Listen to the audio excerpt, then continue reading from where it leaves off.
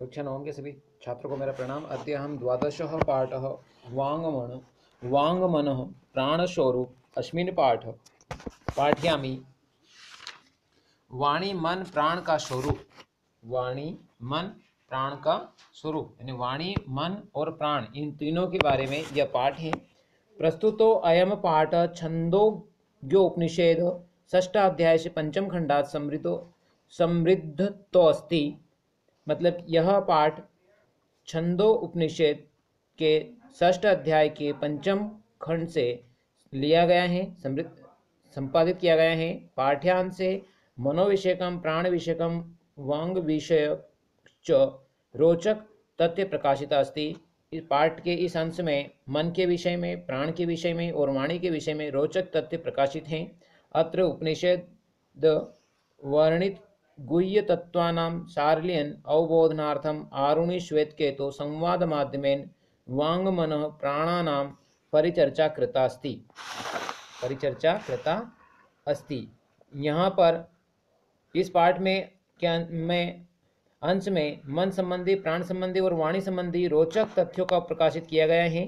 यह पाठ उपनिषद में वर्णित गूढ़ तत्वों का सरलता से बोध कराने के लिए आरुणि और श्वेत केतु आरुणि और श्वेत केतु, अत्र उपनिषेद वर्णित गुहि तत्वानां शाल्य अवबोधनार्थम अरुणि श्वेत केतु संवाद माध्यमेन वांग मन प्राणानाम परिचर्चा करता अस्ति। यानी यहाँ पर आरुणि और श्वेत केतु के संवाद के माध्यम से वाणी और मन और प्राण, प्राणों की चर्चा, परिचर्चा की गई है। ऋषिकुल परंपरायाम ज्ञान प्राप्त त्रीणी साधना साधनानि संति ऋषिकुल परंपरा में ज्ञान के प्राप्ति के लिए तीन साधन हैं। तीनों में तीनों में तेषु परिप्रश्नोपि एक अन्य साधनम अस्ति। उन तीन ही साधनों में यहाँ यहाँ परिप्रश्न भी एक अत्यंत साधन है, अन्यतम साधन है।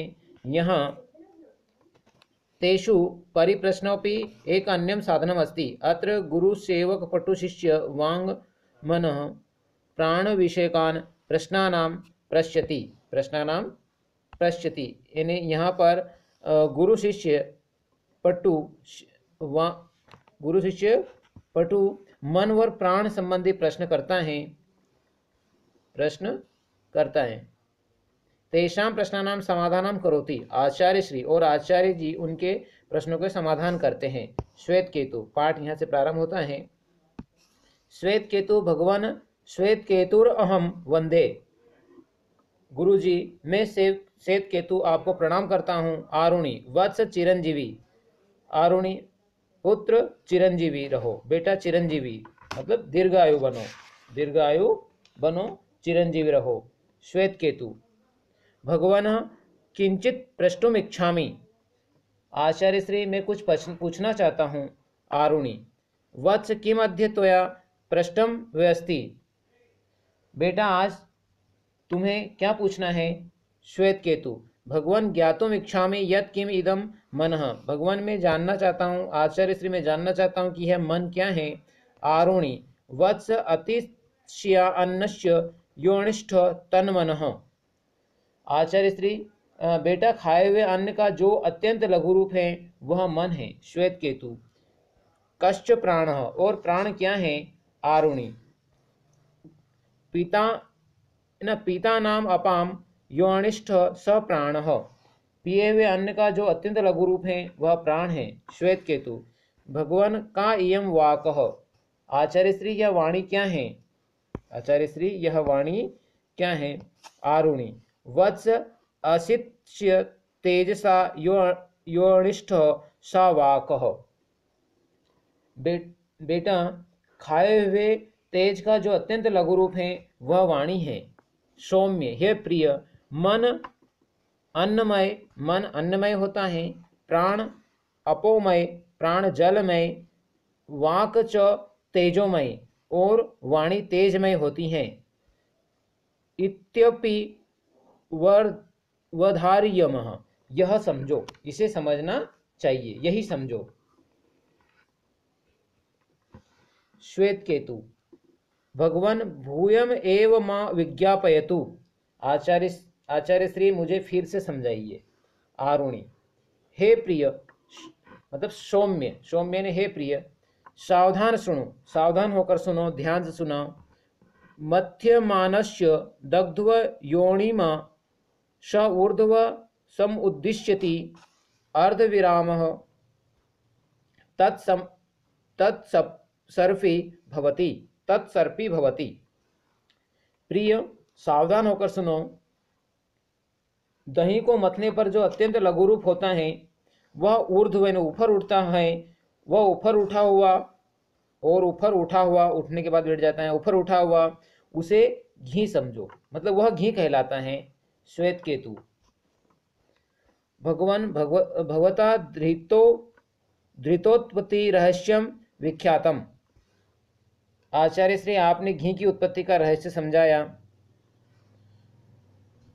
भूयोपि इच्छा मैं एक बार और समझना चाहता हूँ। आरुणि, एवमेव सौम्य।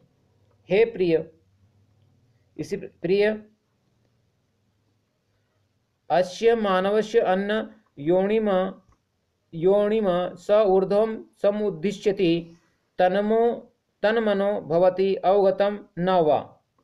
हे प्रिय खाए हुए, अन्न का जो अत्यंत लघु रूप होता है, वह ऊपर उठता है, वह मन बनता है, समझा, समझ में आया या नहीं? है ना? अवगतम व न, समझ में आया या नहीं? श्वेत केतु, सम्यक अवगतम भगवान। अच्छी तरह से समझ में आ गया आचार्य श्री। आरुणि। वत्स पीयमानानाम अपाम यो अणिम स ऊर्धम सम उद्दिश्यति स एव प्राणो भवति। स एव प्राणो भवति। बेटा, हम जो जल पीते हैं, उसका जो अत्यंत लघु रूप होता है, वह ऊपर उठता है, वह प्राण बनता है। श्वेत केतु, भगवान वाचम अपनी विज्ञापयतु, भगवान वाणी के बारे में भी समझाइए। आरुणि सौम्य। हे प्रिय अश्य मानस्य अश्य मानस्य तेजो, तेजसो यो अणिम स ऊर्धम सम उद्दिश्यति। स खलु वाग भवती। स खलु वाग भवती।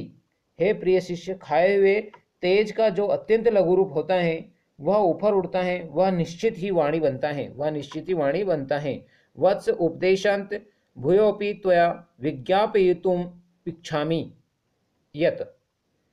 बेटा, उपदेश के अंत में मैं पुनः तुम्हें बताना चाहता हूँ कि अन्नमय भवती मन। अन्न से निर्मित होता है मन। अपोमय, अपो, आपोमय, आपोमयो भवती प्राण। जल से निर्मित होता है प्राण। तेजोमयी च भवती वागिति। और तेज से निर्माण होता है और तेज से निर्माण होता है वाणी का। निर्मित होती है वाणी। किंचित यादृश्यम अन्नादि गृहणाति मानवस्तादृश्यमेव तस् चित्तादिकम भवती सम उपदेशासार और क्या कहूँ, मानव जैसा अन्न आदि ग्रहण करता है, उसका चित आदि वैसा ही बनता है। मानव जैसा खाता है, वैसा ही उसका मन बनता है ना, जैसा खाया अन्न, वैसा बना मन। यही मेरे उपदेश का सार है। अतः हमें अच्छा भोजन करना चाहिए। शुद्ध और सात्विक भोजन करना चाहिए। ठीक है, हमें, इसलिए हमें शुद्ध और सात्विक भोजन करना चाहिए। यदि हमने अच्छा भोजन किया अच्छा जल पिया, है ना तो निश्चित ही हमारे मन और वाणी, मन, वाणी और प्राण ठीक रहेंगे। वत्स एतत् एतत् सर्व स हृदय अवधार्यामी यही मेरे उपदेश का सार है। यही मेरे उपदेश का सार है। यह सब आत्मसात करना चाहिए।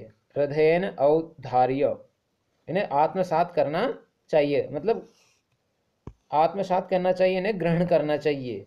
श्वेत केतु, यदा आज्ञापेति भगवान, जैसी आपकी आज्ञा ऐसा प्रणामामी। और ऋषि को वो गुरु जी को वो प्रणाम करता है। मैं आपको प्रणाम करता हूँ, आरुणि। वत्स चिरंजीव। बेटा चिरंजीवी रहो मतलब दीर्घायु भवो। तेजस्वी नौ नौ है ना हम दोनों? तेजस्वी नौ अधितम अस्तु। हम दोनों तेजस्वी बने। आवा, आवयो आवयो भी ने हम दोनों। आवयो अधिकतम तेजस्वी अस्तु। हम दोनों का तेज बढ़े हम दोनों का हम दोनों का तेज बढ़े।